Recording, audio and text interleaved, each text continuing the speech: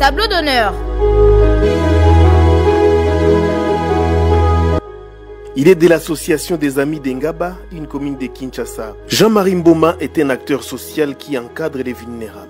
Tableau d'honneur. Lech Walasa et Antosifu Kabala. Jean-Marie Mboma Manou s'est donné la mission de défendre les personnes vivant avec handicap et les autres vulnérables au sein de l'association des amis d'Engaba, Anga Asbel.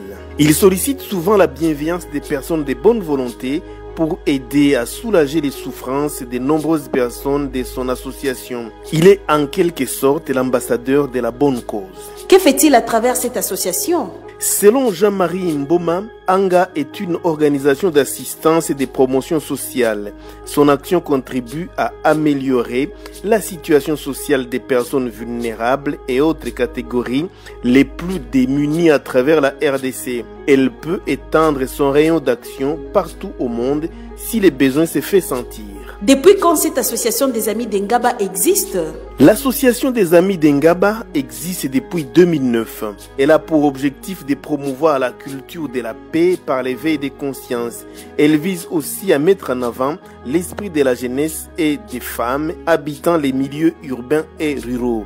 Jean-Marie Mboma essaie de réunir les moyens pour aider les personnes dans la nécessité à avoir des activités génératrices de revenus. Quelles sont les autres activités de l'association Jean-Marie Mboma intervient à travers le centre Amen Médical Anga en commune de Lemba pour apporter des soins médicaux et d'autres soins aux personnes vulnérables. Dernièrement, Jean-Marie Mboma a accompagné une jeune fille estropillée pour se procurer une prothèse.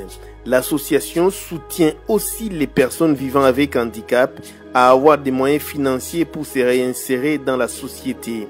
L'association Anga organise aussi des centres de formation ou d'apprentissage et des rattrapages pour les enfants en situation difficile. Quelles sont les actions faites pour soutenir les personnes vulnérables dans votre milieu? Dites-les nous en commentaire sur la page Facebook Banao Capi.